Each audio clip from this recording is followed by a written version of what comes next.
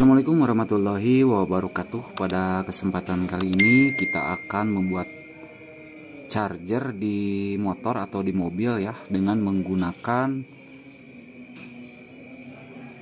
step down ya. Step down menggunakan LM2596S ya. Ini ampernya 3 ampere ya. Saya sudah menggunakannya sendiri di motor Alhamdulillah sampai saat ini aman. Belum ada kendala ya untuk step down ini. Dan saya sudah mempersiapkan juga ini voltmeter ya voltmeter supaya nanti terpantau arus ini dengan voltmeter ini. Dan juga ini USB nanti USB nya bisa diaplikasikan di bodi motor atau di mana saja yang sekiranya tidak kena air ya kalau untuk di motor. Kalau di mobil bebas sih di mana saja. Yang penting ini bisa disimpan aman ya kalau di mobil. Kalau di motor ini bisa cari lokasi yang tidak terkena air. Oke kita lanjut ke tahap perakitannya nah di sini ada in. Ada in dan juga ada out. Jangan sampai terbalik. In sama out ya. Ini in digunakan untuk input dari aki motor atau mobil ya. Nah, di sini ground kita hubungkan ke in min ya. Nah, ke sini ke in min. Strum dihubungkan ke in plus. Nah, seperti ini sudah menyala. Dan ini untuk voltmeternya. Di sini ada tiga kabel merah kuning dan juga hitam. Nah untuk hitam kita hubungkan ke out min. Ya ke out min ya. Dan yang merah sama yang kuning disatukan saja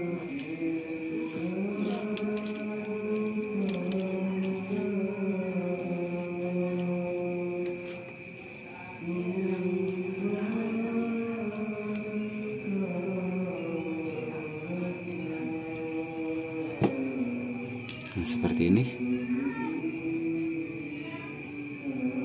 Ini voltasenya 10,6 volt ya. Yang dibutuhkan oleh HP yaitu sekitar 5,1 volt ya. Dan ini caranya mudah sekali ya. Kita tinggal memutar train pot ini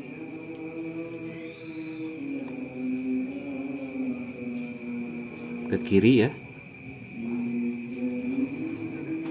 Nah ke kiri seperti ini dia akan turun sendiri. Nah kita set di 5,1 volt.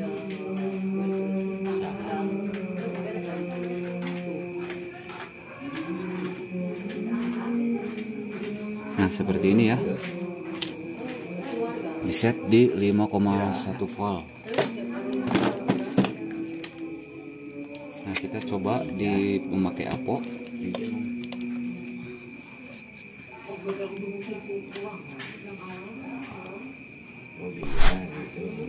Coba pakai apo ya, apakah tegangannya sesuai dengan voltmeter ini?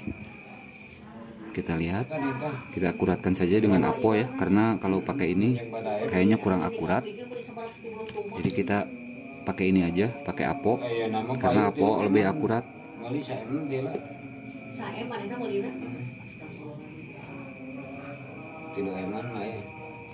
Nah sekitar segini ya untuk ukurannya. Kita set kembali yang ini. Apakah bisa di set atau tidak ya untuk voltmeternya. Nah pengesetannya ada di belakang sini. Untuk mengeset ini, ini memutarnya ke kanan untuk menambah sesuaikan dengan yang ada di Apo ya.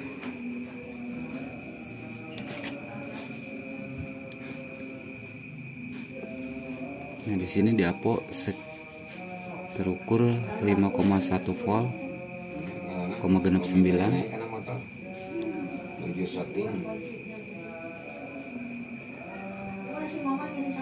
nah kita setnya dari sini aja dari belakang kita sesuaikan dengan apo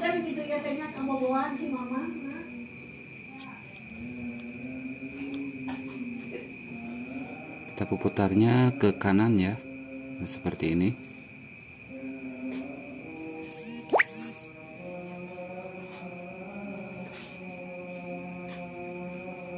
Ih, angkat pi. Pi paling ngaus seperti ini sudah hampir sesuai ya. Oke kita siapkan dulu ini untuk USB nya nanti supaya bisa mencolok ke sini ya. Ke USB charger HP di sini untuk tegangan 5 volt. Ini data plus min ini data plus dan ini untuk ground ya. Nah untuk menyambungkannya kita yang tengah data min dan data plus kita gabung saja. Nah kita gabung saja seperti ini.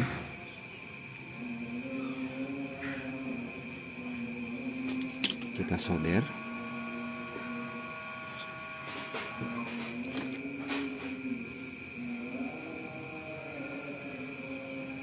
supaya nanti terbaca di HP ya.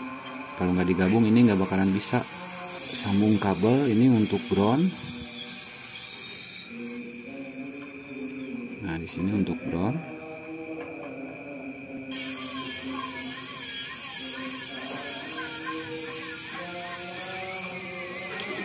Nah di sini untuk tegangan 5 volt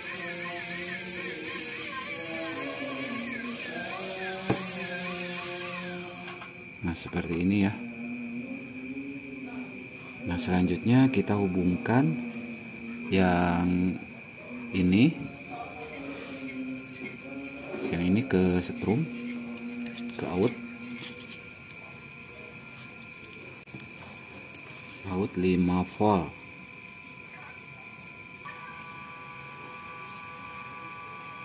Nah untuk groundnya sama aja ke sini ke bagian out min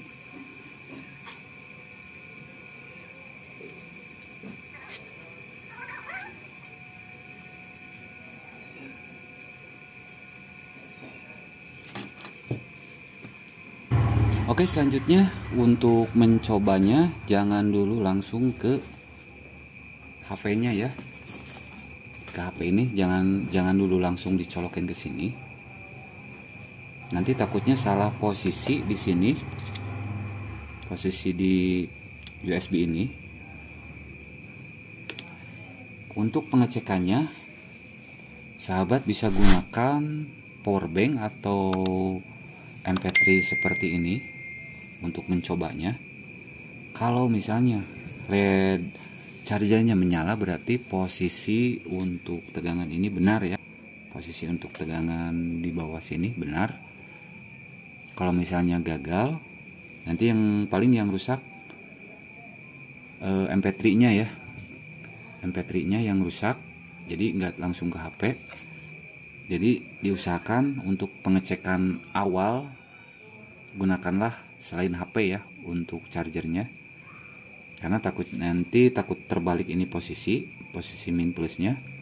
Jadi nanti berakibat fatal ya. Dan ini dataset ini harus benar-benar akurat ya. Jangan asal memasang min plusnya di mana saja. Itu saya tidak merekomendasikan. Ini harus benar-benar datanya harus akurat harus sesuai dengan pin data ini ya.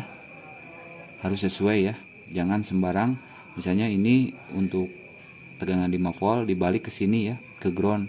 Dan ground dibalik ke, ke bagian plus ini. Nanti berakibat fatal ya. Dan ini harus akurat ya tegangan untuk ini. Jangan sampai salah ya. Nah kita selanjutnya coba. Nah ini untuk USB nya kita colokkan nah ini untuk chargernya. Kita tes. Nah ke sini ya. Kalau misalnya di sini ada yang menyala merah berarti sudah normal ya. Sudah tidak ada masalah. Kita coba ya. Kelihatan ya ada led merah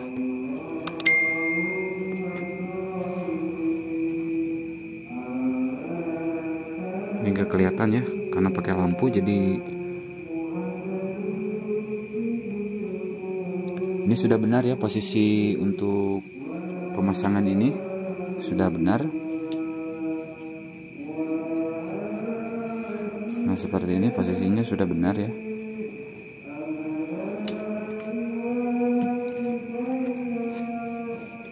Dan kalau sudah benar kalau ini sudah menyala kita tes hidupkan mp3 nya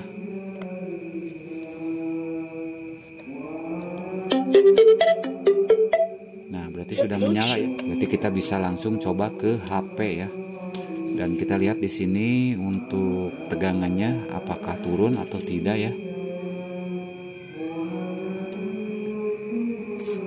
Nah kita coba pakai HP nah seperti ini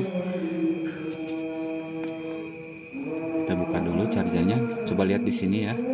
Apakah tegangannya turun atau tidak? Karena ini harusnya besar ya. Untuk step down ini 3 ampere ya. Oke kita coba ya untuk mengetes di HP ini. Apakah ini berfungsi? Casannya apakah tidak ya?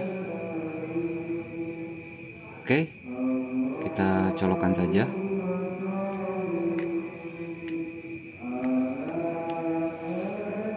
sudah kelihatan ya.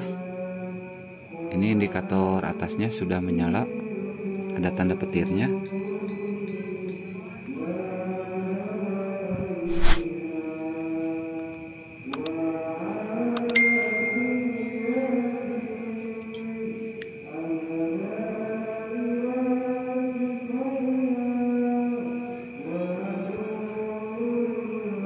Sudah ada tanda petirnya ya sudah normal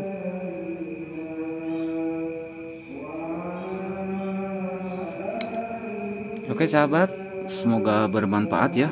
Di sini arus dari voltmeter ini tidak mengalami penurunan, normal-normal saja, 5,1 volt. Dan di sini sudah terlihat indikator sudah. Nah, oke. Terima kasih ya sahabat. Semoga bisa bermanfaat. Assalamualaikum warahmatullahi wabarakatuh.